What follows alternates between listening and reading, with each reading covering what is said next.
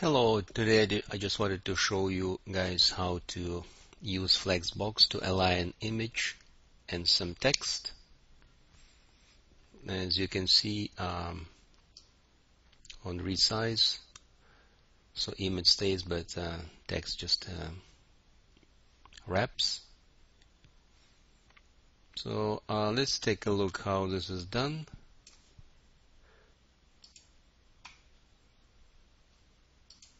This is our HTML.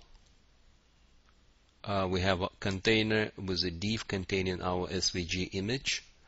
Uh, so uh, if we remove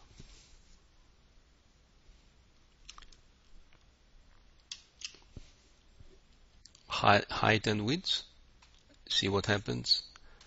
So this is the original size uh, dimensions of that image when it was um, when I download it.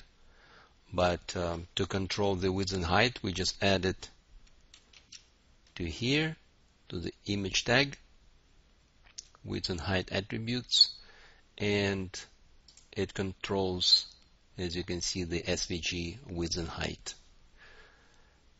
And then we have our P element containing some text.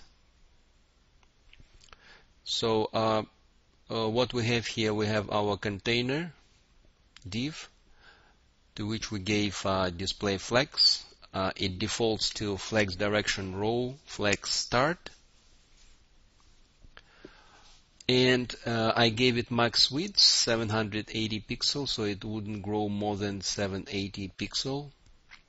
And also flex uh, start align items. This is for cross-axis alignment this is main axis, this is cross axis. Yeah, with uh, flex, di uh, flex direction row.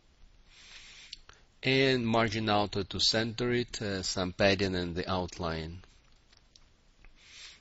Okay, I'm just gonna uncomment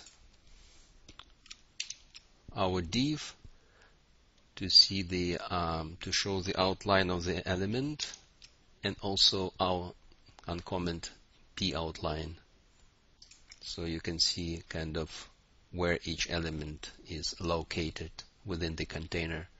So this is our image, uh, text, and this is a container.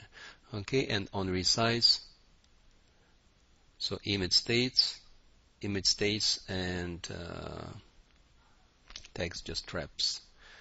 And uh, what we can do is say you can play with this, align items say flex end. And then flex end. So this is flex end. Uh, align items center